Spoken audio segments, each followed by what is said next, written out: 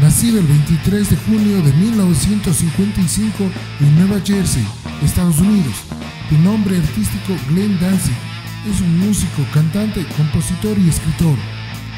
Danzig es el fundador de las bandas de Misfits, Samhain y Danzig. Es considerado como uno de los creadores del género horror punk. Es dueño de la discográfica Evil Life Records y de Verotic, una compañía de cómics para adultos. Su carrera musical comenzó a mediados de la década de los 70 y abarca géneros como el punk rock, heavy metal, metal industrial, blues y música clásica. Ha escrito canciones para músicos como Johnny Cash y Roy Orbison. Como cantante, Danzig es conocido por su rango vocal de baritono y su peculiar estilo que guarda ciertas similitudes con los de Elvis Presley y Jim Morrison. Danzig ha citado a Bill Medley como una de sus influencias vocales. Hablar de Glenn Danzig es algo un tanto complejo y complicado. Para muchos es un personaje bufonesco que ha caído en la autoparodia. Para otros es un tipo que por el contrario se toma demasiado en serio a sí mismo. Y mucha gente, y hablo de fans y detractores, opinan que desde hace ya tiempo el Danzig personaje ha devorado a su creador, el artista, cantante y compositor. Hay opiniones para todos los gustos, mucha disparidad y poco consenso, aunque sí hay un factor en el que prácticamente todos sus seguidores coinciden, y es que aún gustando lo que Glenn haya hecho, tanto en disco como en directo en los últimos años, la opinión casi unánime de la mayoría de sus fans es que su mejor etapa la vivió en décadas atrás, concretamente en el periodo 87-95, que abarca sus cuatro primeros LPs y un EP. Y en ese periodo nos situaremos hoy, ya que hablaremos del disco de debut de Danzig, publicado hace nada menos que ya 32 años. Glenn nació en el núcleo de una familia protestante de New Jersey. Tiene antepasados de origen italiano, alemán y escocés. Su padre era un estricto veterano de la infantería de marina de la Segunda Guerra Mundial y la Guerra de Corea, que trabajaba como reparador de televisores. Glenn empezó a escuchar música pesada a temprana edad y ha mencionado a Black Sabbath y The Doors como sus primeras influencias musicales.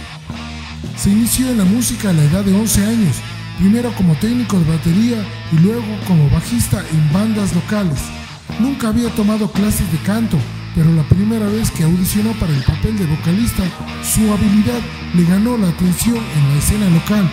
A lo largo de sus años de adolescente, cantó para varias bandas, interpretando canciones originales y de Black Sabbath. Glenn comenzó a experimentar con el licor y las drogas a temprana edad, llevándolo a peleas frecuentes y problemas con la ley. Dejó las drogas a los 15 años de edad, se convirtió en un ávido coleccionista de cómics, especialmente los cómics de la Edad de Oro, raros juguetes japoneses, libros de ocultismo, artículos relacionados con el horror, pósters de películas de horror, videos de animación japonesa y cráneos de animales muertos. Glenn trabajaba en una tienda de cómics en la cercana ciudad de Nueva York en la época en que comenzó a escribir música. Se graduó del Lodi High School en 1973. Aspiraba a convertirse en un escritor de cómics y fotógrafo. Asistió a la Escuela de Arte y a la Escuela de Fotografía más tarde, en el Instituto de Fotografía de Nueva York y eventualmente inició una empresa de cómics para adultos, Perotic, en la década de los 90. A mediados de la década de los 70, Glenn comenzó con The Misfits. Esta banda combinó la voz armónica de Glenn con imágenes y letras de horror.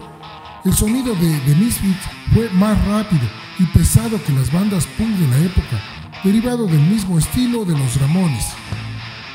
En 1983, después de lanzar varios singles, tres álbumes y ganar popularidad con el ambiente underground, The Misfits se disolvió debido a la creciente animosidad entre los miembros de la banda y la insatisfacción de Glenn con las habilidades musicales de sus compañeros. En 1983, luego de la separación de The Misfits, formó Samhain junto al fotógrafo de su antigua banda, Eric Bond, y al baterista Morning Noise. Glenn fue el cantante y compositor de Samhain y también contribuyó habitualmente tocando la guitarra, el bajo, el teclado, el piano e incluso la batería al grabar los álbumes de estudio. En 1987, Glenn cambió el nombre de la banda a Danzig. En 1988, la banda recién formada lanzó su álbum debut homónimo. El sonido muestra una progresión del sonido gótico de Samhain a un ritmo más lento, más pesado, con más influencias del blues y el heavy metal.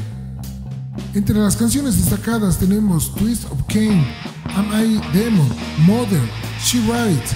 Canciones como End of Time y Soul on Fire muestran la destreza de Glenn con vocalizaciones melódicas más suaves. El líder de la popular banda metálica, James Hetfield, quien ha manifestado ser fanático de Danzig como solista de Samhain y de Misfits, contribuyó con los coros de las canciones de Twist of y Possession.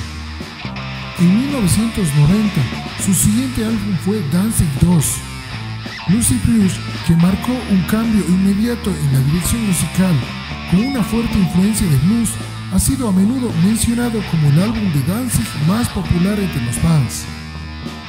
Como canciones destacadas tenemos Long Way Back from Hell, 7-7, Gear y Under Her Black Wings, así como también las decadentes y notablemente inspiradas en el estilo de Elvis Presley, I Am the One, Blood and Tears. Otro de los proyectos en 1990 fue el último disco de Samhain, Final Descent. En 1991, Glenn y su banda Danzig se presentaron en un acústico en el Club Bordello, propiedad de Ricky Rachman de Headbangers Ball. La banda interpretó originales y covers de canciones de artistas de blues como Muddy Waters y Willie Dixon. En 1992, Danzig una vez más cambió de dirección musical, lanzando el oscuro Danzig 3, How the Gods Kill, un álbum considerado más pesado que los anteriores, con riffs de guitarra más dominantes, dejando atrás las influencias rock and roll y blues de Glenn. También en 1992, Glenn intentó incursionar en la composición de música clásica con Black Aria. El álbum debutó en el número uno en las listas de Billboard de música clásica. En 1993 y 94, Danzig ganó popularidad fuera de underground cuando lanzó el video en vivo de Modern 93, que se convirtió en un éxito en MTV, estos seis años después de la canción originalmente grabada. En 1994, con el lanzamiento de Danzig 4, la banda siguió con el sonido más oscuro y experimental. Aunque mantuvo un sonido pesado en algunas canciones, el álbum también vio un mayor desarrollo en su estilo y rango vocal, más notable en canciones como Let It Be Captured y en Going Down to Die. Danzig tuvo un pequeño papel interpretando a un ángel caído en la película La Profecía 2, protagonizada por Christopher Walken. Fue invitado a una audición para el papel de Wolverine en X-Men, puesto que su complexión física asemeja la forma en que el personaje fue retratado en el cómic original. Sin embargo, Danzig declinó debido a otros compromisos previos. Glenn Danzig se considera como un personaje hermético en el mundo del espectáculo. Ha mantenido su vida personal en privado, por lo que no se le conocen públicamente parejas sentimentales o si tiene hijos. En 1992, Danzig se convirtió en un estudiante de Jerry Potter, un maestro de Jet Q. Do. Danzig desde entonces ha ganado un título de enseñanza en la disciplina y también ha estudiado Muay Thai.